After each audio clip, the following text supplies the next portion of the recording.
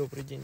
На самом деле, я нигде не мог найти информацию, как считаются Вудбери. То есть то, что написано в Вудбери, может, я, конечно, сли, слепо смотрел, нажимал вот здесь, вот, но здесь что-то не особо что-то прописано. В списке лидеров тут тоже не особо что-то написано. В личных наградах тоже особо ничего не найдешь. В общем, что нам удалось найти? Смотрите, по поводу Вудбери. То есть при, за победу над армией Вудбери, то есть смотрите, 10-13 левел, сколько очков дают.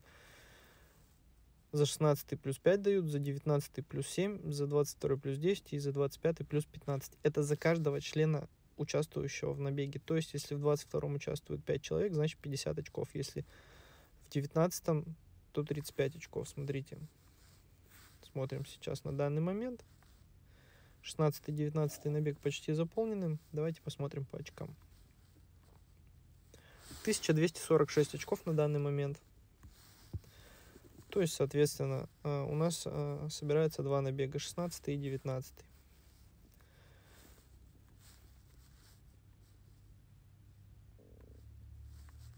То есть за 16 набег мы должны будем за 5 человек в набеге получить, соответственно, 5 на 5, 25 и 35 очков.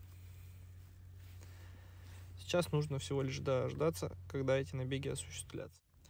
Так, ну вот смотрим. Так, у нас по очкам сейчас 1281 очко. Соответственно, у нас сейчас будет добегать 16 армия по 5 очков, 25 очков. Соответственно, если вы будете на 22 ходить, это гораздо выгоднее, чем на 16 То есть вы в два раза больше хлеба тратите на 16 чтобы получить столько же очков. 1281 должно стать 1306 очков. Ну, все получено, в принципе, можно и так посмотреть. 1306 очков. таблица должна быть для вас просто самой основной, и все, и как бы этого должно быть достаточно.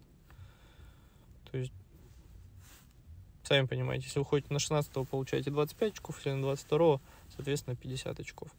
Отсюда вы можете уже высчитать, а, сколько вы будете получать за спасение Рика. Вот мы сейчас идем на втором месте.